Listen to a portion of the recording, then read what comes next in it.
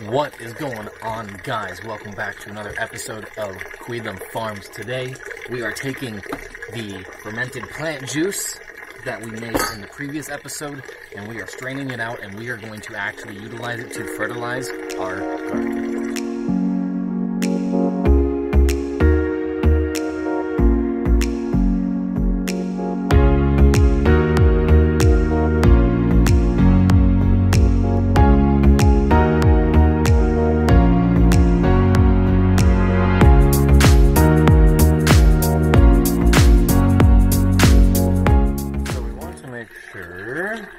Have to wear a glove like I am, but you want to get a strainer. This is a fine mesh sieve. This is just like a bowl, and then we're going to be putting it in some glass jars. All right, so we're actually this is a little small. We're going to swap to this.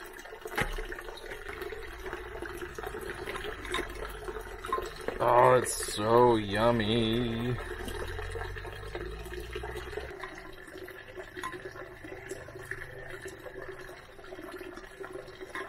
All that juice coming out right there? And drip. Slow stream. That right there is what we're looking for.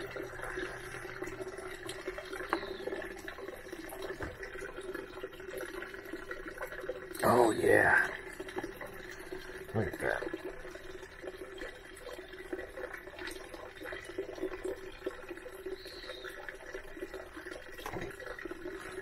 Squeeze and squeeze. Don't worry, if there's any left over, we're going to be adding this to our compost.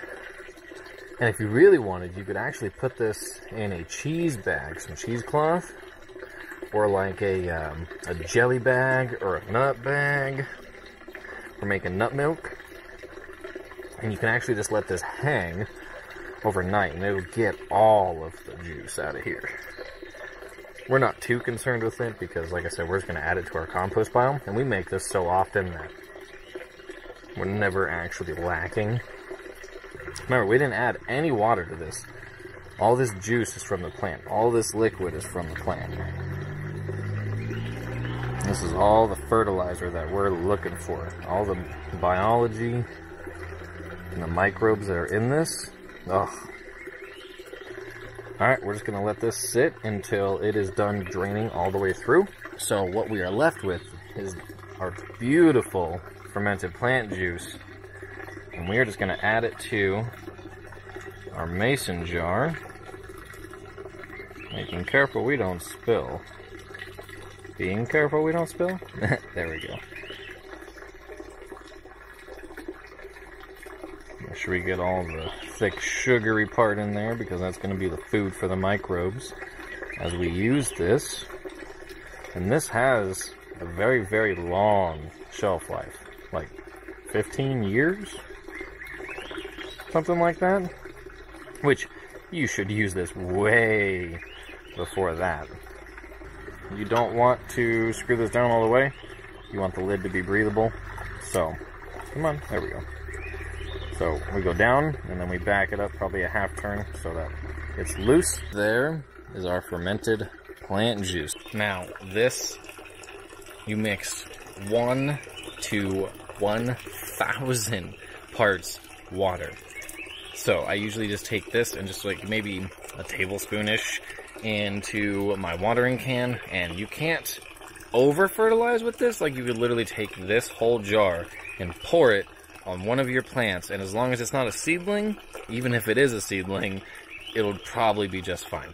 Because this is just beneficial organic microbes that are already present in your soil and on your plants. So all we're doing is we are adding more of them to the soil to help make the nutrients in the soil more readily available. And if you missed how we started this process or why you want to add more microbial life and bacteria to your soil, then go ahead and check out the link up here. And I'll also leave a link down in the description below so that you can see how to start this whole process. It's super easy and only takes a few days and it'll last you your whole season.